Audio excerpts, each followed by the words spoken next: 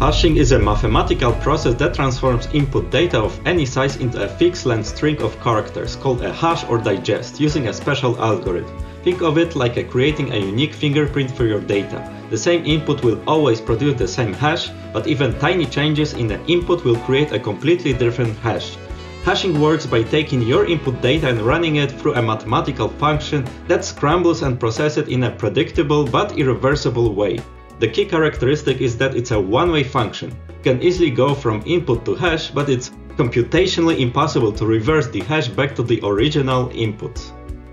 Different use cases of using hashing for encrypting passwords. Instead of storing actual passwords, systems store their hashes. When you log in, you enter password is hashed and compared to the stored hash. Another one is to verify that files haven't been corrupted or tampered with by comparing their hash values before and after transmission. In hash tables and hash maps, use hashing to quickly store and retrieve data by converting keys into array indices.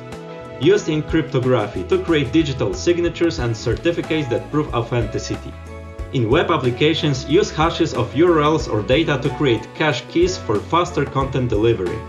Generate unique IDs for database records, session tokens, or file names. The beauty of hashing is its speed and deterministic nature. It's perfect for scenarios where you need to quickly verify, identify or organize data without exposing the original content.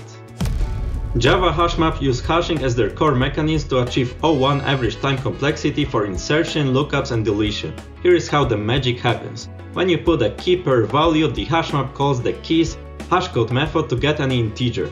This hashcode is then processed, usually with modulo operation, to determine which bucket array index to store the data. The key value pair is stored in, in the bucket. When you search for a key, the same hashing process finds the right bucket instantly. Subscribe for more.